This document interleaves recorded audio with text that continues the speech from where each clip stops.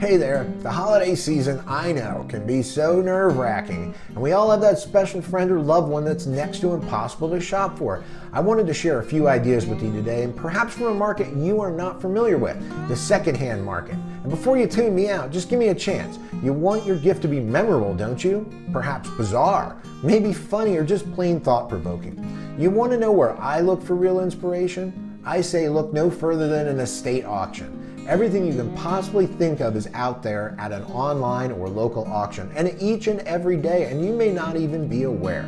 And if that whole shopping experience is new to you, I got a video for you first timers.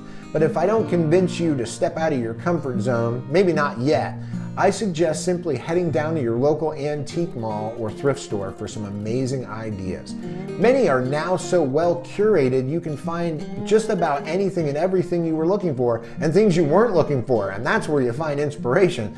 But enough about where to find the perfect gift. What I promised you was inspirational ideas for the perfect gift. So don't worry, I think I got you covered, and I hope this feature inspires you and helps you make someone's holiday season one they will truly never forget. So come along because here's my ultimate holiday shopper's idea guide. We're going to start off with the man child. Let's say someone young at heart. He's 40, but maybe acts like he's 12 and you've been best friends forever. Go with a favorite childhood toy. Maybe a 1980s original carded He Man figure. You're talking like $100 on eBay or maybe even a better deal at a toy auction. They're still appreciating in value too, and they make for great conversation pieces. You know, and here's a few other 80s toys for inspiration.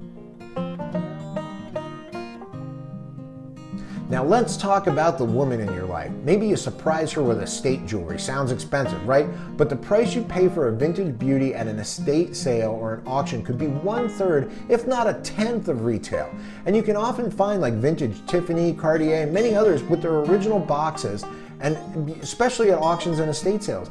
And imagine like surprising someone with a 1930s Art Deco diamond cocktail ring and it has stories to tell. And anyway, you can pick one of these up for three to 500 bucks. So beat that, Jared. And here's a few other beauties I came across.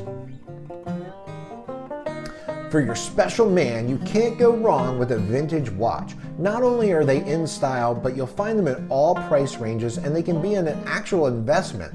You'll be surprised at how much more affordable they are at auction or an estate sale, and at least much better in retail, and plus, they're so much darn cooler. Here's a few of the deals I found. For the avid reader, sorry iPad and Kindle peeps, but the classic first edition leather bound books can be amazing presents. I once gave a friend an early edition of Bram Stoker's Dracula and he still has it on his mantle to this day, 20 years later, and it was 35 bucks in an estate auction. Honestly, it was a steal and I was lucky to score it that cheap, but you get me, there are amazing deals out there. How about a car buff? A classic car might sound crazy, but watch the local car auctions. You can often find like a Mustang or a Chevy that maybe the one he had in high school for 5,000 bucks today. Plus it'll give the family a project or a wonderful lawn ornament.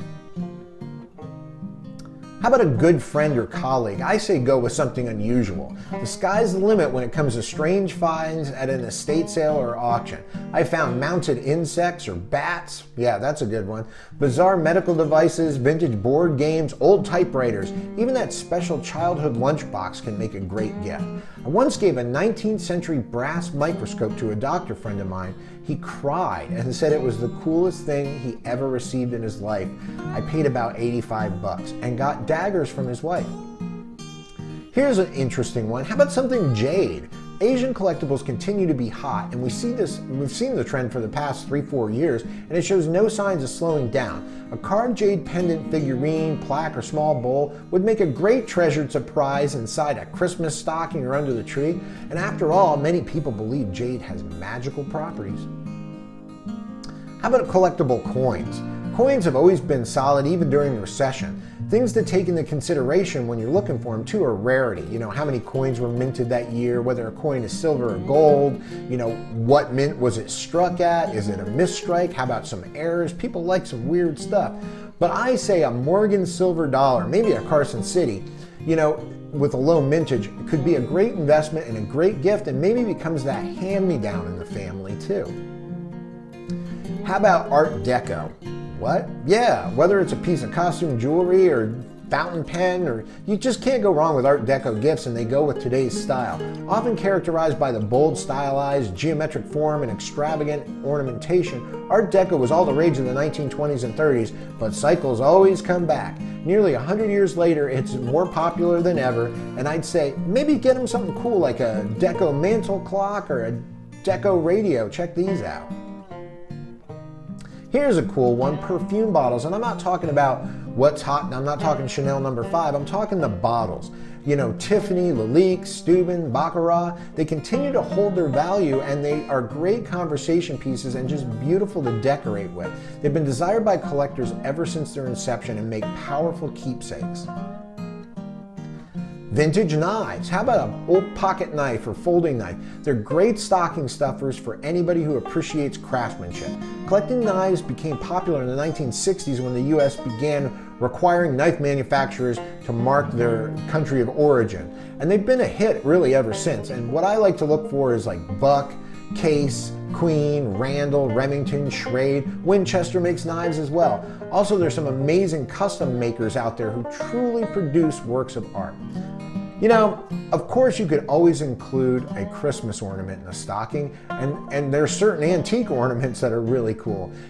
But check out Waterford, Dresden, Kugel, even Hallmark. They still do well at auctions and you can pick them up, especially off season. They're a great little investment as well. Some of them are made out of sterling silver, you know, or you can go with something modern. How about an elf on the shelf? Now, I think, you know, because kids from today will probably pay top dollar for these 40 years from now because it's what they remember. It's the way trends work and they always seem to.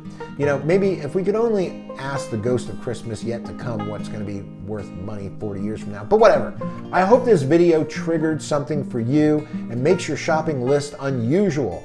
Check out Live Auctioneers, Invaluable, eBay, HiBid, AuctionZip. They all have great search engines for that list you just made. And if you can't find it currently online or at a local auction, check out the antique malls or thrift stores. I'd be shocked if you can't find these things. Remember, the thought behind the gift is typically the most important thing. Sure, gift cards are appreciated and safe, but not much thought goes into that.